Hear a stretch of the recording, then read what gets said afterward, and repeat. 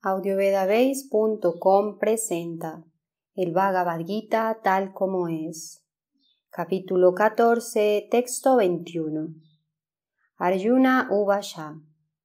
Kairlingay stringunam etam atito bhavati pravo kim asharaha katam shaitam tringunam ativartatem Traducción y significado por su divina gracia hace Bhaktivedanta Swami Prabhupada.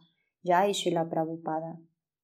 Arjuna inquirió, Oh mi querido Señor, ¿por cuáles síntomas se conoce a quien es trascendental a esas modalidades? ¿Cuál es su comportamiento? ¿Y cómo trasciende las modalidades de la naturaleza? Significado. En este verso las preguntas de Arjuna son muy pertinentes. Él quiere conocer los síntomas de una persona que ya ha trascendido las modalidades materiales. Él inquiere primero acerca de los síntomas de esa persona trascendental. ¿Cómo puede entenderse que ella haya trascendido ya la influencia de las modalidades de la naturaleza material?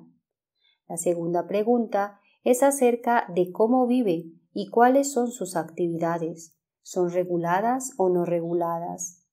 Luego, Arjuna inquiere sobre los medios por los cuales él puede alcanzar la naturaleza trascendental. Eso es muy importante.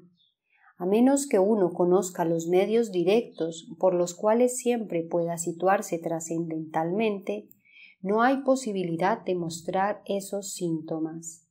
Así, Todas estas preguntas hechas por Arjuna son muy importantes y el Señor las responde.